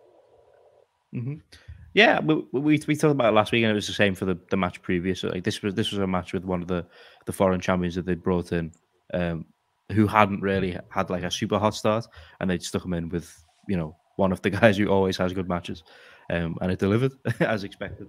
Um, you know, if you work Ishii and the match kind of plays out to his style, you know it's going to be a good match. Um, and that, that was that was the case here. I, the only thing I was confused about is why it wasn't a, a title match. Just seemed like a decent little defense for for for Nick Nemeth, but you know, Mm. um, I still don't understand that. why. yeah, it doesn't. I, I don't know, but um, yeah, I just thought it was it was good. You know, Dolph had. Um, I always call him Dolph. Nemeth uh, some good strike exchange with Ishii. Tried to match him, which obviously not many people um, tend to do. But uh, yeah, I thought it was pretty, it was solid all round. And um, you know, uh, well, we, we we know what's next for for for Nemeth in terms of in terms of that title. But um, it was a good it was a good match for him in, in New Japan. Probably one of his best uh, outings so far that I've seen um, since he left WWE. And then we had Jon Moxley winning the IWGP World Heavyweight Championship, a champion, a world champion in New Japan Pro Wrestling for the first time in his career. Um, he beats the current champion, champion Tetsuya Naito, who only held it for about a little over three months, uh, 99 days to be exact. And uh, I thought this was a really good match. I didn't think it was like mind blowingly great, but it was a worthy New Japan main event. Moxley bled a lot. Um, and uh, I mean, the the drama of me really being invested in Moxley winning this match was uh, was what elevated it into being really great. And I'm we'll we'll talk about the post match in a sec, but just talking about the match itself, um, yeah, I thought it was really good. Yeah, I, I love this match. Um, but it was I liked it, and it's pretty much like um, not to sound like I'm kind of shitting on Naito, but it was pretty much all Jon Moxley for, for me. It was my enjoyment of this match. Um, you know, I, I, as you said, it was it was the, the, the kind of hope that he was gonna he was gonna do it, and I think the crowd were, were very much um, into that too. Uh, you know, the atmosphere definitely elevated it a lot. Um, but he just he just brings it wherever he is on on any night. You know, Jon Moxley's gonna gonna perform to the highest level, and uh, obviously when you stick him in, in this kind of opportunity, that's that's only going to be more so the case, and he absolutely delivered. Um, Naito, I, I don't I don't want to see him with the. I, I love Naito. Naito is one of my, my favorites, but I don't want to see him with the title again. again, I've seen a few people pitching that he's gonna like come back for it. Uh, I'm not sure, you know. No. but um, he got his moments in the Tokyo Dome. It was very nice. But that, that's kind of all I needed to say. Um, but Jon Moxley as IWGP World Heavyweight Champion can only be a good thing for New Japan Pro Wrestling. I, I said that last week. Like, it, he's done it a lot in AEW where they've kind of needed someone to um, steady the ship, and he's jumped in and done it every single time they've asked him to. And, and now New Japan is in a similar position where they need a guy to kind of carry them forward after their absence of a, of a few guys. And there isn't a better guy that you could you could have in that spot than Jon Moxley, who's like I said, just always delivers. Um, and he's got a built-in um, story with Shota Umino that I hope will lead to, to him officially becoming kind of the the new um, the new guy in in New Japan Pro Wrestling. But uh, a, a really solid main event for for what I thought was a pretty decent show overall. Had some very very uh, very high points, mm-hmm. some low points, um, but we got the result that we all uh, really hoped for. So you know, in, in that regard, it's it's an absolute the, the, result elevated it for me from being like yeah. a pretty good show to like I really enjoyed this show. Like mm-hmm. my my mood was improved. My the future prospects around this company feel so much more in, intriguing. Um, Moxley is one of the best wrestlers in modern American history, and he's still in his prime. Um, Tetsuya Naito is decidedly not in his prime. Um, so to me, this was a no brainer. So glad that that he's the champion. Murph, what did you think? Unbelievable match, unbelievable wrestler. Uh, it's really all you can say. It was unbelievable. It was great. You know, it, it, unbelievable match. What am I saying? I, I sorry, I stuttered. Um, it, it, was a it was a pretty good match. I was more saying unbelievable. I, I meant to say unbelievable result, unbelievable wrestler, and uh, you know, Jon Moxley, man, he's he's different. All right, so let's talk about this post match real quick the the the the mic. He's hyped up. He's like, my my next challenger is gonna be my apprentice, or you know whatever he says. But then the the crazy guy Ren Narita, of course, attacks him. Uh, Shota comes out and makes the save, and so we've set up a couple upcoming uh, potential title defenses. But I believe, if I'm not losing my mind here, um, it is in fact Jon Moxley versus Ren Narita. It is, yes. Jon Moxley versus Ren Narita in the main event of Wrestling Dontaku uh, in uh, in a few weeks at the in Fukuoka. Uh, Dontaku is always a big show for this promotion. It's one of the probably it's probably the sixth biggest show of the year for New Japan. Uh, always so. This is going to be the most important match of Ren Narita's career, and uh, hopefully if Moxley retains, we get Moxley versus Shota at uh, at Dominion in the main event. Um, but yeah, thoughts on thoughts on Narita and potentially a, a show a Shota match down the line. Uh, it's an interesting one. like Narita, um, out of all the young guys, is kind of the one who's, who's pretty much who's tailed off a little bit in terms of where you'd kind of expect him to be, and it's obviously not helped by him being in House of Torture, which hasn't obviously hasn't helped anyone. Um, but in there with Jon Moxley, who, as I said, pretty much always tends to deliver. I think this is a real chance for him to have a great showing in, in a main event level, and I, I think he kind of needs to. Um, but uh, it's one that I'll kind of, you know, um, I, am not sure what my expectations for that match are, just because of the, the kind of gap I have between the two guys. I'm not too sure what where they're gonna where they're gonna land that.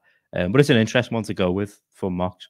And obviously, obviously, you know, I don't think anyone assumes that that Ren Narita will be winning. I think we will get that um get that Shota match.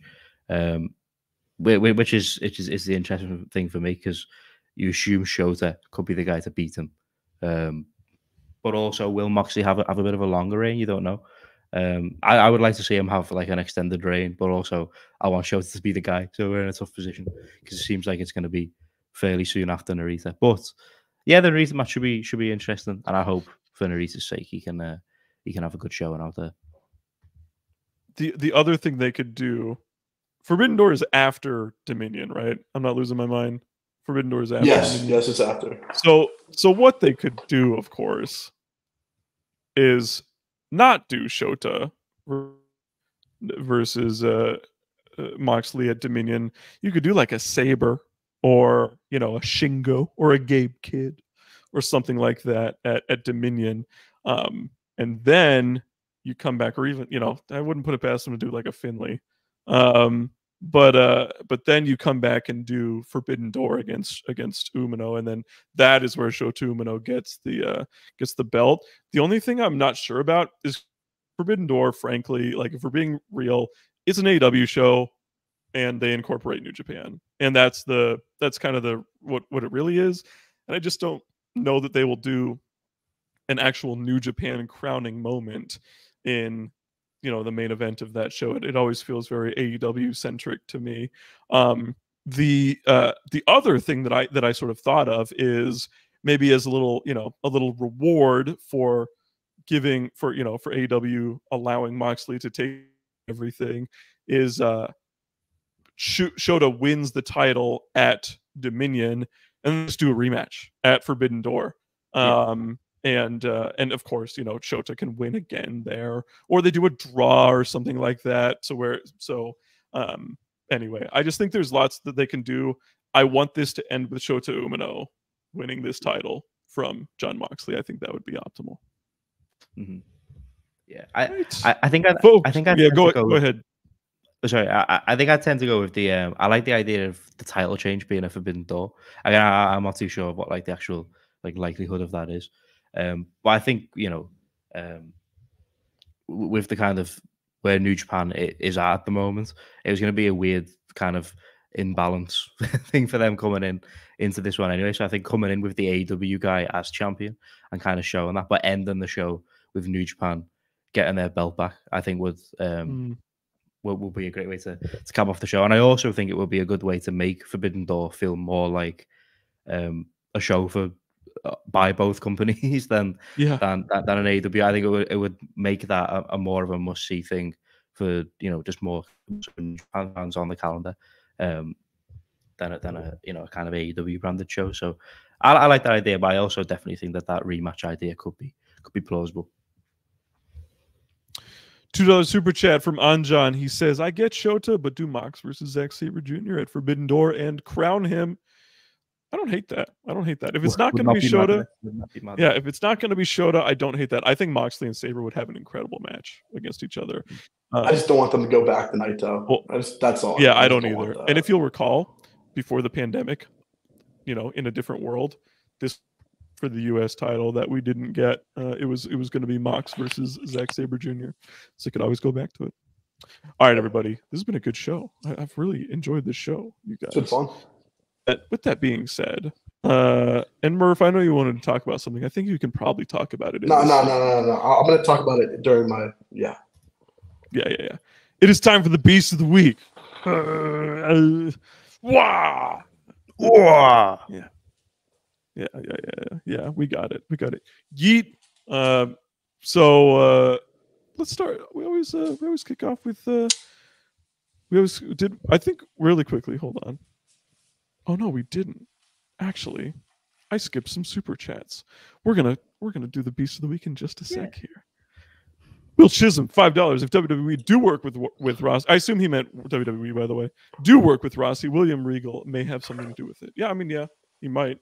Yeah. Will, I got to be honest. I love your super chats, but every single super chat you have is like WWE working with a Joshi company, and I'm like, I don't know, bro. Just like wait until you see it happens. like I, Yeah. I, don't.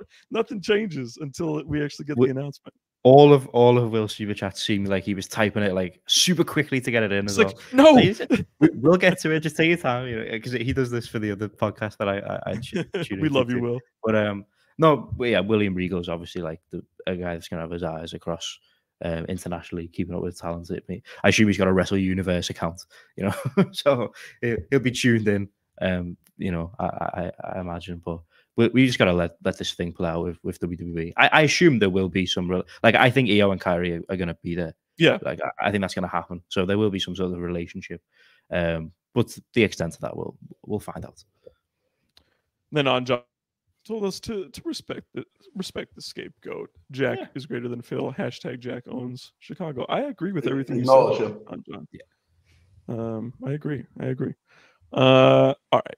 Beast of the week for realsies. I think collectively, it's Mox. It's Mox. He won the fucking world title. He did what we wanted. All three of us desperately wanted that title change. Yeah. And he made it happen in beast like fashion with bleeding everywhere and shooting a post match angle and everything like that. So, Jamie, kick a door. Beast of the week.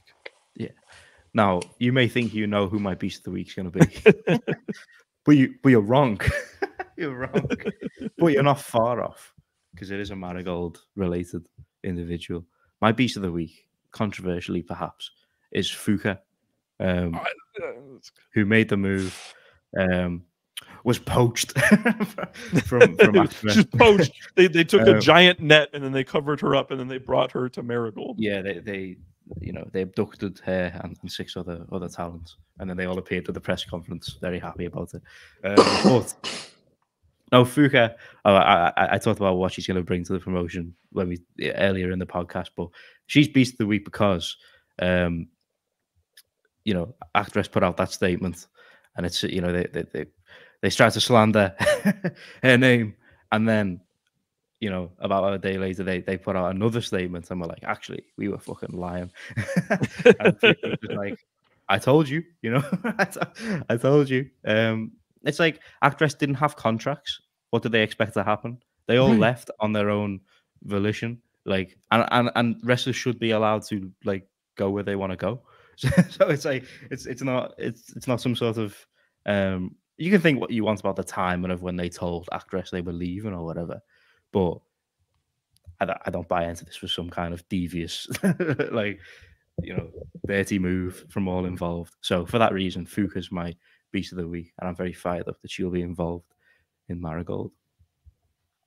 I very nearly uh, voted for Chad Gable, who I watched last night, and uh, because uh, this was because he was in the second best match I saw all week. Um, I thought it was awesome yesterday on, on Raw. I thought he was great in the main event and uh, and the post match stuff too. Oh, man, the team with the Creeds, bro, like. I, I fucking love the Creeds, dude. Like Julius in Mhm. particular, they're so great. Um, however, that was not the best match I saw over the last week. The best match I saw over the last week took place at Korakuen Hall. It was the main event of a Pro Wrestling Noah show. Yeah. No, it was not Hayata winning the GHC National Championship, um, which is crazy, by the way. Like what? No, my uh my beast of the week is a rare instance where I watched a Kenoh singles match and I thought the other guy was better in the match. Uh, my beast of the week is Kaito Kiyomiya, who beat Mhm. Kenoh and uh, did so in exhilarating fashion. I thought Kaito was on fire in this match. It was one of his best performances I've seen in a long time from him. So I'm very proud to have Kaito Kiyomiya as my beast of the week. I love it. Yeah. It's fun since I went Jack Perry two weeks in a row and I'm not going with him this week. But I mean, that's life here. My beast of the week uh, is from a sh- from Korakuen Hall. The best match I saw this week at Korakuen Hall. Um, best two matches actually, and it was probably the best show this promotion has put on since the pandemic. It was um, from Dragon Gates Korakuen this week. I'm giving it to Team No Hug, which is uh, Dragon Kid and the Rookie Doi. Uh, they're my beast of the week because they just put on the most tremendous match. First, they had their match against you know the actual uh, Big Hug, and that that match was that match was pretty dang good. Uh, and honestly, they just they were able to beat them. And then in the main event, they faced Susumu Yokosuka, He's Yokosuka again, uh, in Yamato. So um, in, in this match was just unbelievable, and they're gonna go on to face uh, Kaito Kiyomiya and Alejandro at uh, Dead or Alive. Dead or Alive, which has a great card. Uh, The cage match is back. Uh, in in Dragon Gate, uh, they they've ever since they turned Jason Lee heel two weeks ago, they've actually been putting a lot of great shows together. Uh, so my be- team of the week, my beast of the week, is the team Team No Hug, uh, Dragon Kid and Bro. I did not know Jason Lee joined Z-Brats until you said that. What, what the fuck? Z-Brats? Dude. Z-Brats, parenthesis, Shun Skywalker, Ishin, and Jason Lee. What? In, in Johnny, Johnny. Oh, Gi- oh yeah, Johnny Johnny. Valletta, Valletta, Johnny Valletta. yeah, yeah. But, but no, Whenever- Jason Lee's been Jason Lee. The, the if you watch it, it was in Sambo where they did the turn. The pot, the heat. Oh my god, it was it was Oh, just like insane. boo, Jason, Jason, Jason. No. No, it was it was more like. Like, so it, it was pretty great. But whenever Murph picks a, a, a Dragon Gate guy or, or team or whatever for the for the Beast of the Week, and obviously everyone, everyone, I assume everyone knows that it's me that does the, the Beast of the Week thing. It can't, it annoys me slightly. It's a minor inconvenience in my day because I like to use photos from the event that they got the Beast of the I'll Week I'll, from. s- I'll send you a Um, photo, Jamie.